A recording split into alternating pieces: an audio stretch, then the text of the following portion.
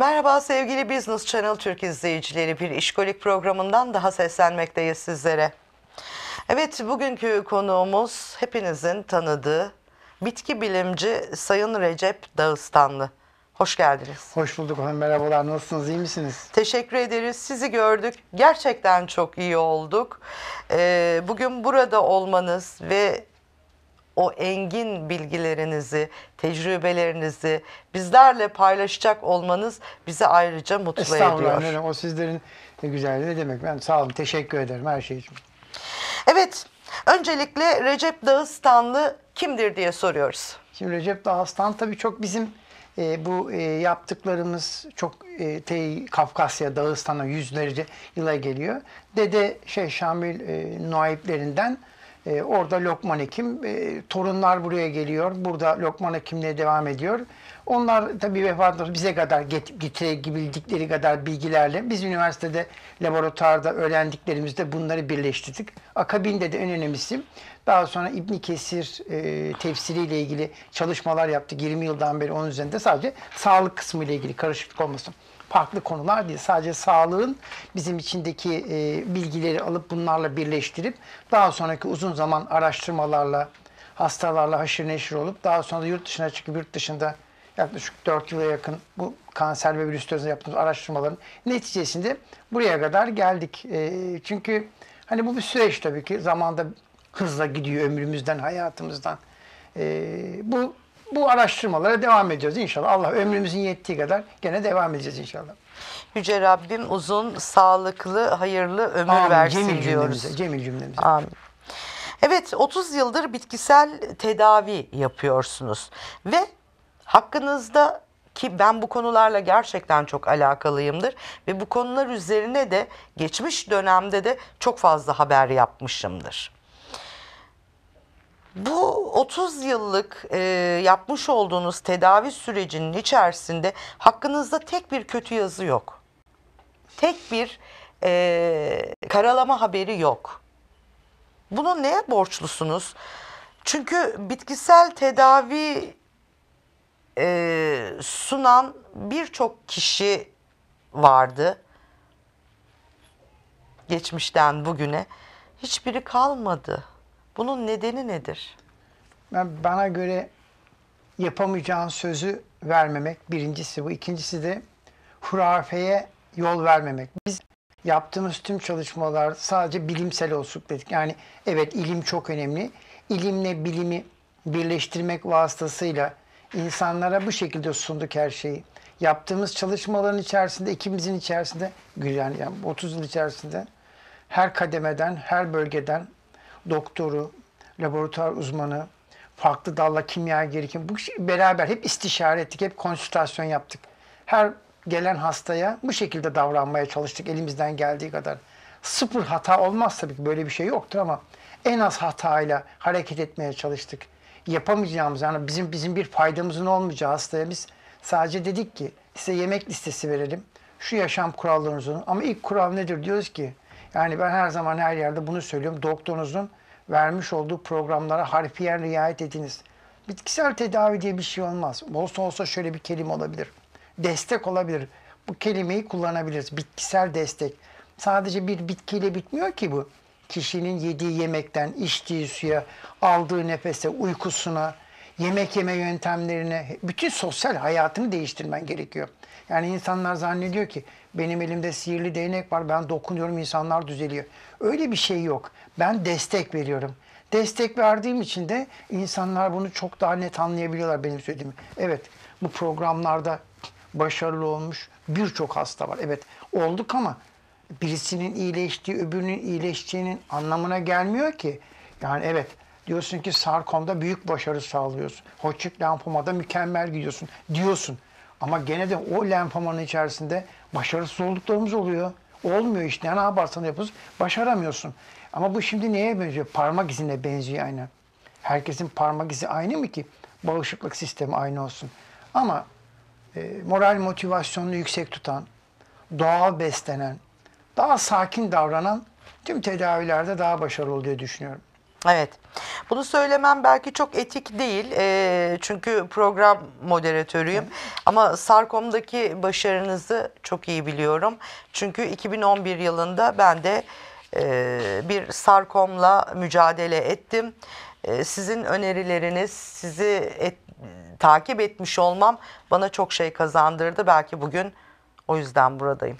Ne mutlu ki işte yani hep dedi yazıyoruz. Web sayfamızda sürekli anlatıyoruz. Sosyal medyada anlatıyoruz bunları ki hani her soran soruya asistan arkadaşlar birebir cevap verip tüm sorularını harfiyen anlatın diyorum. Sonuçta bu bizim asli görevimiz budur. Önce bize soruları cevap vermektir. Yani bence doğru olan bu zaten her zaman için. Evet. Peki günümüzde bitkisel tedavi ya da e, gıda takviyesi ya da şöyle böyle birçok ismi var. Bu isimler altında e, kapsüller, tabletler, şuruplar, macunlar satılıyor. Havada uçuşuyor, her yerde var. Eczane dışında her yerde var. Sizce doğru mu? Şimdi ben hani yurt dışında şu- bu iş böyle şöyle oluyor. Yani yurt dışını anlatırsak mesela bir bitkisel bir ürün alınacaksa eczaneden alınır. Doktor iki reçete yapar. Reçetesine bitkisel ürünleri de yazar. Gidersin eczaneden alırsın. Şimdi böyle olsa bu yapılan tüm çalışmalar doğru olabilir ama farklı yerlerde de sosyal birçok yerde de ürün satılıyor. Bunun tabii e, ben tabii onların içeriklerini bilmiyorum. Ne yaptıklarını da bilmiyorum. Onlar hakkında konuşsam da doğru bir hareket olmaz ama hani tıbbi tedavisi devam eden e, bir kişi doktorunun tavsiyesinin riayet etmek kaydesiyle alacağı bu işte ürünleri o tavsiyeyle almalı. Kendi kafasına göre değil de doktorunun tavsiyesiyle almalı. Biz zaten o konu bizim çok dışımızda bir konu. Çünkü bizler zaten böyle bir sistem kullanmıyoruz. Biz sadece bitkilerin eterik, soğuk, pres yağları ve özlerini. Biz sadece tüm hastalara ve sağlıklı olanlara bunları tavsiye ediyoruz. Diyoruz ki bir şeyin özü varken yani şöyle örnek vermek istiyorum basit bir örnek. Suyu ayrış, ayrıştırırsınız. Hidrojen, oksijen çıkar. Birleştiğinizde su olur. Bu anladık bu kısmını. Yani örnek vermek istiyorum. Diyelim ki limonun içinde sitrik asit var. Diğer şu bu kadar bit var diyorsunuz. Peki onları birleştirdiğinizde limon oluyor mu? Olmuyor. Demek ki bizim aklımız ve zekamız şu anda onun içindeki tüm kimyasal maddelerin ne olduğunu bilmiyoruz. Tamam limon yağı kullanabilirsiniz. Evet faydalı ama siz limonun kendisini tüketmek zorundasınız. Neden? Çünkü o limonun içindeki ham maddeleri bildiğimiz dahilinde biz onu birleştirdiğimizde limon yapabiliyor muyuz? Yapamıyoruz. Yapamıyorsak o zaman onun ham maddesini de kullanmak zorundayız. Hani tıbbi tedavilerle birlikte bu tip şeyler de varsa doğalını kullanmak her zaman için en doğru karardır diye düşünüyorum. Evet. Peki bitkisel tedavi aslında ne demek? Şimdi aslında bu çok eee, bu konunun altından çok sular akıyor. Bitkisel tedavi diye bir şey yok. Yani ne demek? Bitkisel destek olabilir. Yani yapılan tıbbi tedaviyle birlikte ona yardımcı olması olabilir. Çünkü şöyle bir şey var ki örnek bitkisel tedaviyle sen bir hastayı alıp A'dan Z'ye iyileştiremezsin ki. Neden? E bunun teşhisi var, laboratuvarı var, filmleri var. Bunun 10 tane şeyi var. Bu yani bu bir mozaik. Dünyada da böyle bir kelime yok zaten. Dünyada da nasıl var? Dünyada da Nine Treatment Protokol kombinasyon. Yani kombinasyon var. Birlikte beraber kişi doktoruna gider, tıbbi tedavisini alır. Efendim işte ilaç tedavilerini kullanır. Onunla birlikte de Dediğim biraz önce dediğim gibi yediği yemekten, içtiği suya, aldığı nefese, uyku düzenine kadar birleştirir. Hepsi birleşince zaten burada hastanın iyileşmesinden daha başka ne güzel olabilir ki? Geri kalanlar teferruattır. O yüzden dolayı bu bitkisel destek olarak bitkilerin özleri, bitkilerin eterik ve soğuk pres yağlarının ve doğal beslenme sağlanıldığı takdirde gerçekten kombinasyonda büyük başarılara imza atılabilir tabii ki.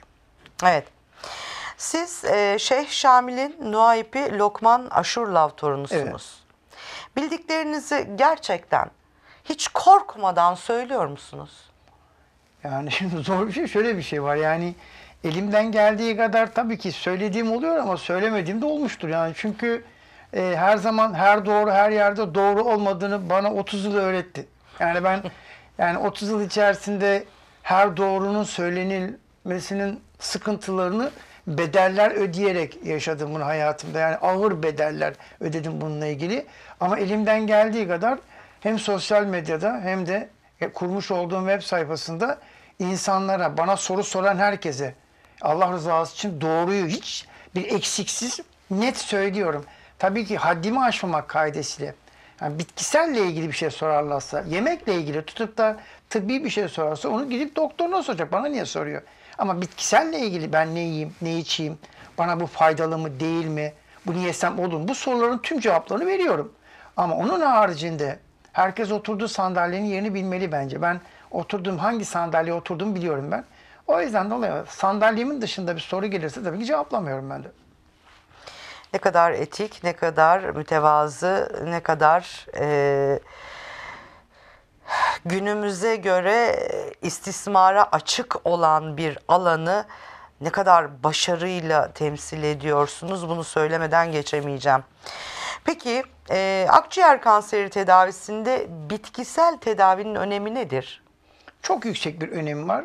Tıbbi tedavisine harfiyen riayet ettikten sonra yani e, ameliyatı, kemoterapi, radyoterapi, ışın tedavisi, akıllaşım neyse bunlarla birlikte bitkisel destek yapıldığı takdirde hem o yapılan tedavilerin yan etkilerinin giderilmesi hem de yapılacak olan vücudun bağışıklık sisteminin toparlanması, hastada öksürük, balgam, nefes darlığı gibi işte göğüs, sırt ağırlığı varsa bunların giderilmesinde etkin rol oynar. Özellikle akciğerler için bir iki tane de basit bitki söyleyelim ki insanlar da bunu akciğer için olmazsa olmaz.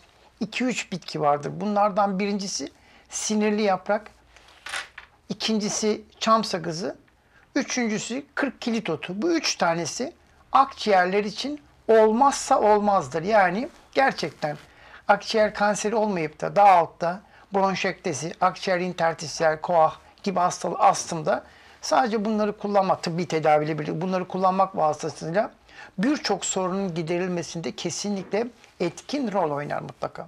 Evet ki e, günümüzde koronavirüs ile baş etmenin Evet. ve bunu yenmenin bitkisel yollarına da çıkıyor mu acaba? Tabii ki şöyle bir şey var. Bu yani aslında çıktığımız programlarda hep bunu anlatıyoruz. Ben diyorum ki yani koronavirüs olmasa başka bir şey de olsaydı pazar bize yeterli. Ben bunu söyleyince pazar da sadece olur mu? Şimdi bu arz talep meselesi. Siz kışın domates almaya kalkarsanız arzı yaratmış olursunuz. Kışın domates yeme. Lahana var, brokoli var. Ne bileyim git ne bulursan var. Siyah turp var, havuç var. Değil mi? Kereviz var. Yani pazar bize yeterli. Gerçekten doğal beslenmek istiyorsak önce biraz ka- şapkamızı önümüze koyup benim dedem ne yapardı? Turşu var, evde kuru fasulye var, nohut var, mercimek var, yeşil mercimek var, kan yapıcı özelliğine sahip. Tarhana çorbası var.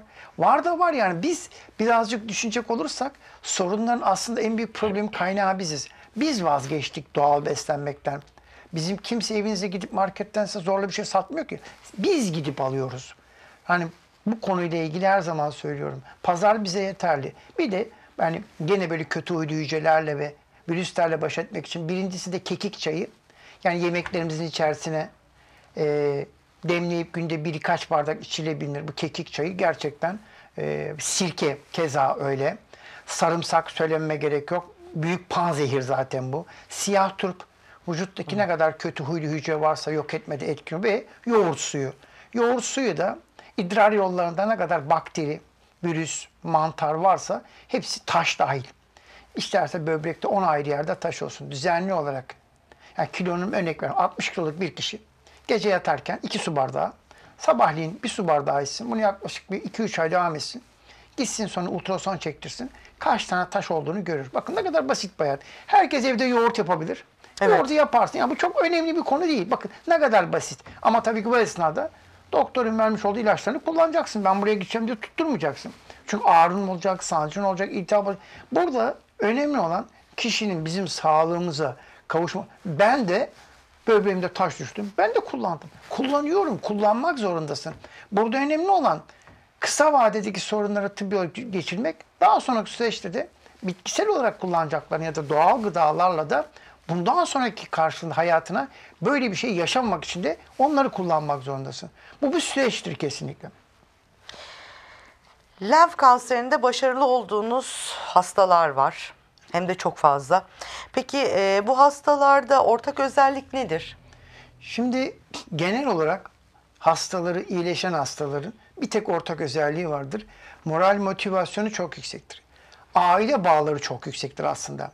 Yani hastanın çevresindeki insanların aile bağları çok güçlüyse o başarılı olur. Bir de şöyle bir şey vardır. Hasta insanlar üç oda arkasındakini duyar. Yani kişiler giderler arka odada üzülürler, ağlarlar. Genelde hastanın yanına gelirler. Hasta onu hisseder. Gözyaşını görmese de gene hisseder. İşte diyoruz ya moral motivasyon her şey demek. Ortak özelliklerinden bir tanesi de tıbbi tedavilerine harfiyen riayet etmeleridir. Bu konu konuşulacak bir konu değildir. Bakın şu konu yani konuşulması tıbbi tedavisine harfiyen riayet eder. Moral motivasyonu yüksek tutar. Doğal beslenir. Oksijenli ortamlarda bulunur. Özellikle yüksek rakımlı yerlerde ya da ev, bahçe neyse ve doğal beslenmenin akabinde de bununla birlikte güçlü bir bitkisel destek alır. Özellikle bağışıklık sisteminin güçlendirilmesi, kilo verdiyse kilo almasıyla alakalı kesinlikle profesyonel destek gerekir. Her ne yaparsa yapsın hastalarımız kesinlikle profesyonel gitsinler. Bilimden uzaklaşmasın kimse. Hurafeye yer verilmesin. Bana her gün 50 tane soru geliyor. Saçma sapan sorular. O olur mu? Bu olur mu? Ne yapsın insanlar? Duymuşlar.